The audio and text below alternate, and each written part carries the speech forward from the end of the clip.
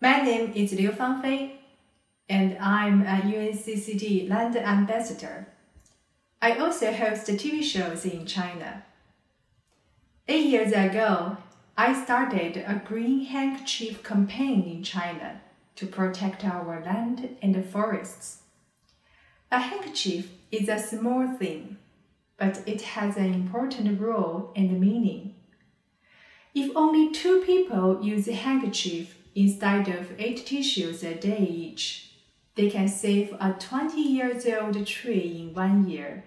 That safe tree absorbs 80 kilo of carbon dioxide and release one ton of oxygen. So you see, if we are good to nature, nature will treat us good. Simple choices we make in our daily life will change the world for better or for worse.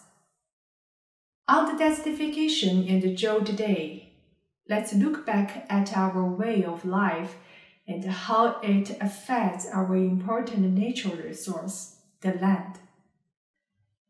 I wish you all a happy desertification and drought day.